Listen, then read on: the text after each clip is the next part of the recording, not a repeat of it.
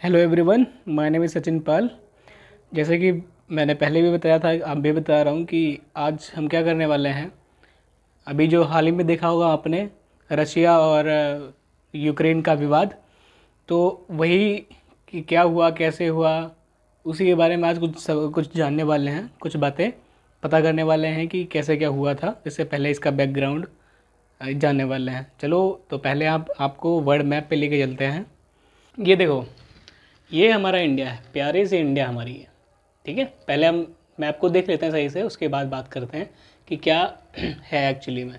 ये इंडिया है, ऊपर ये हमारा रशिया बैठा है, जो अभी हम, जिसके बारे में बात करने वाले हैं, और इधर ये है अमेरिका ठीक है? तो कहानी कुछ, ये देखो शेयर कर लिया ना आपने, पूरा यहाँ से घूम लो, पूरा वर्ल्ड एक ही मिनट में पूरा घूम गए, ठीक है? चलो ठीक है स्टार्ट करते हैं जो का पार्ट तो स्टोरी यहाँ से स्टार्ट होती है वर्ल्ड वॉर सेकेंड से।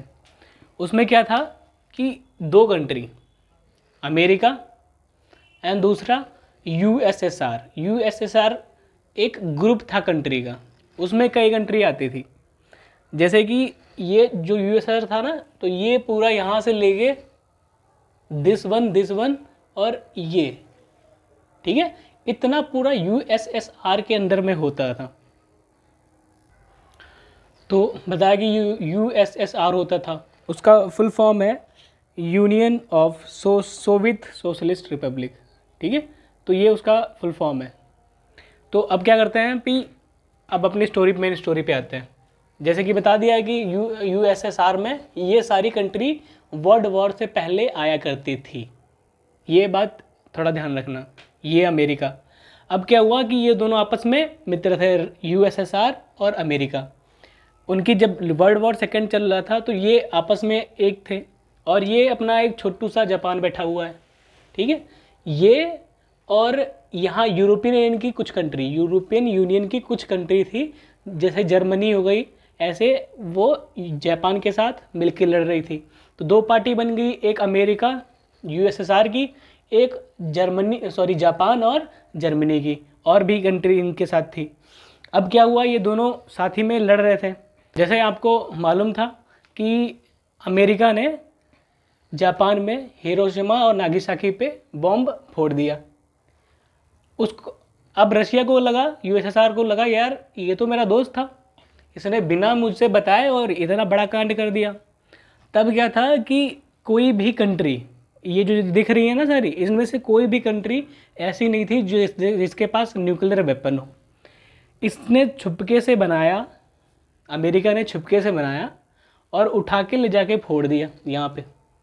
अब क्या हुआ, उससे जो रशिया था मतलब यूएसएसआर था, वो नाराज़ हो गया। वो कहने लगा, भाई यार, ये कैसा होता है? ऐसे तो मैं नहीं खेलूँगा इसमें। आपने जब बम फोड़ा था, उससे पहले बता देते, भाई, मैंने न्यूक्लियर बम बना लिया है। अब मुझे बता देते कि मैं फोड़ने जा रहा हूँ तो मैं कुछ कह देता। तो अब क्या हुआ, जब यहाँ पे बम फूटा तो वर्ल्ड वॉर तो धीरे धीरे समाप्त हो गई। पर इन दोनों के बीच में झगड़े बढ़ने लगे। अब क्या हुआ, जब ये दोनों झगड़े के बाद दोनों हो गए अलग?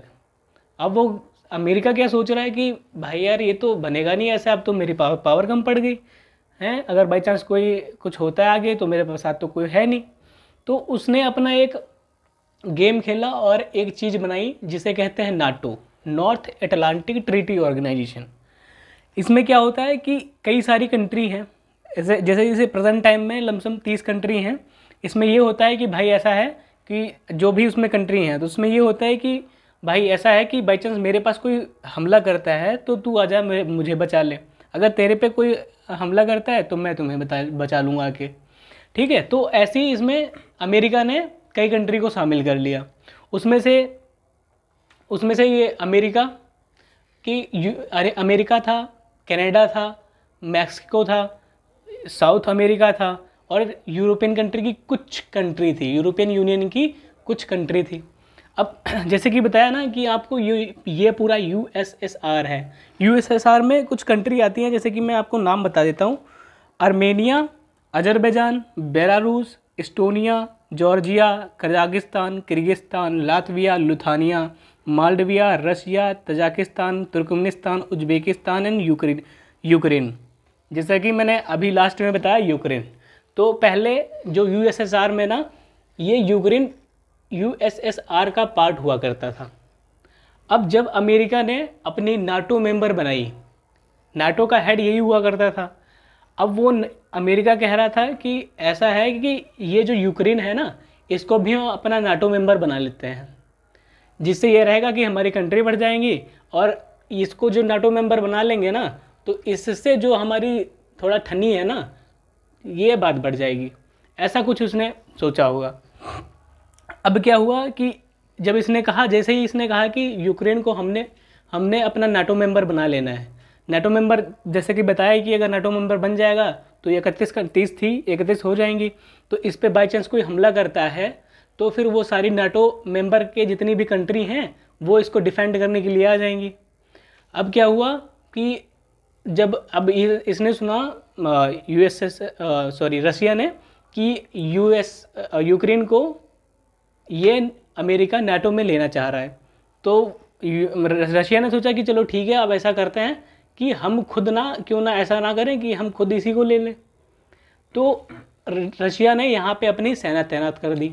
अभी हाल ही की बात है कि चापा सॉरी चाइना में, ये चाइना है अपना, चाचा या अंकल कुछ भी कहे या फिर कहे एक कहावत नहीं है। बंदर की सॉरी कुत्ते की पूछ। वाली हाँ तो ऐसी ही है ये। तो ये यहाँ पे बिंजिंग ओलंपिक चल रहे थे। तो रशिया और चाइना और रशिया की, इनकी बहुत अच्छी बनती है।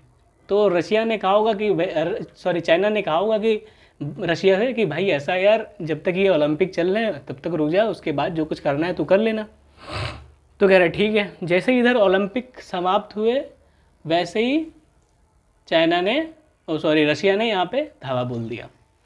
अब क्या हुआ, उससे पहले, धावा बोलने से पहले अमेरिका इनको, यूक्रेन को समझाता रहा कि भाई, ऐसा है कि तू टेंशन मत लियो, तेरा भाई है ना यहाँ पे, मैं संभालूँगा सब कुछ।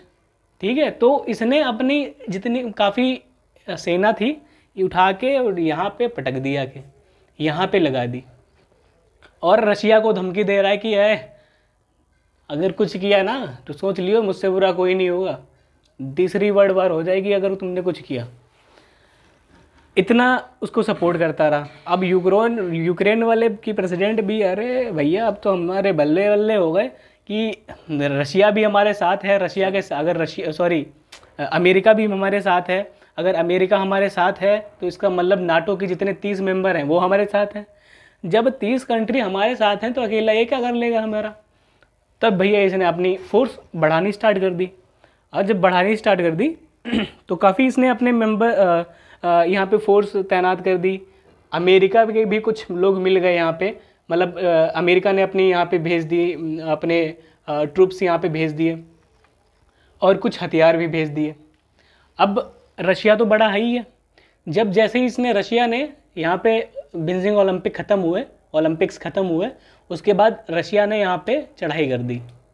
अब ये भाई साहब क्या बोल रहे हैं? जैसे ही चढ़ाई कर दी तो भाई साहब बोल रहे हैं कि we are not going to defend Ukraine we are not going to fight with Russia हैं? अब ये भाई क्या होता है? अभी तो तुम कह रहे थे कि, भाई तू तू चाहे कुछ भी कर, मैं तेरे को बचा के रहूँगा। अब क्या हो रहा है कि अब बता रहा है कि नहीं, अब हम ये नहीं कर पाएँगे।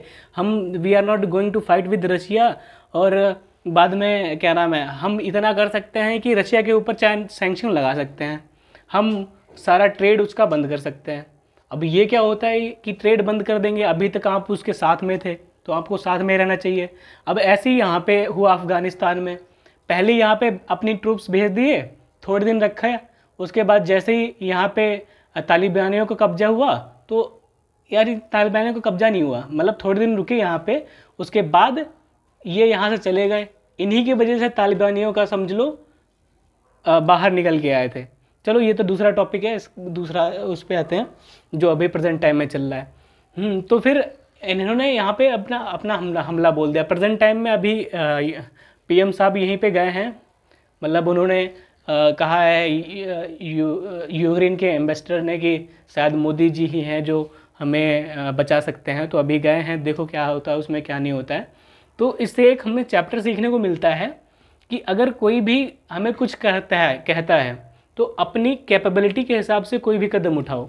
ये नहीं है कोई चने के पेड़ पे चढ़वा दे आप चढ़ जाओ और फिर क्या होना क्या नहीं होना है वो तो फिर बाद में तुम ही जानो। उससे पहले आपको सोच लेना चाहिए कि इसका परिणाम क्या निकलने वाला है। अब भाई साहब ने कहा कि ठीक है हम तुम्हारी मदद करेंगे। अब उन्होंने पैर पीछे कर लिए। ये कोई बात होती है यार। तो फिर ये हमें चैप्टर भी सिखाता है कि आ, क्या नाम है कुछ भी स्टेप्स लेने से पहले खुद से अपने बारे में सोच लो कि how much capable are you are so उसके उसके हिसाब से कदम उठाओ। ठीक है? तो फिर मैं बस इतना ही बताना चाहता था जो भी करना है सोच समझ के करना लाइफ में ये मुझे ये चैप्टर सिखा रहा है। सो इत, इस इसमें इतना ही। तब तक के लिए जय हिंद। और हाँ अभी सुनने को मिला है कि यूरोप में ओमिक्रॉन का दूसरा वेरिएंट आ रहा है। उसका नाम शायद बी ए वन ट्वेल्व ऐसे कुछ है। सो सेफ़ रहें अपने फैमिली को सेफ़ रखें। बस हम इतना ही कर सकते हैं कि प्रोटेक्शन पूरी ले सकते हैं। पर आगे क्या होगा, क्या नहीं, पर हाँ अपने आप को प्रोटेक्ट रखें एंड तब तक के लिए जय हिंद।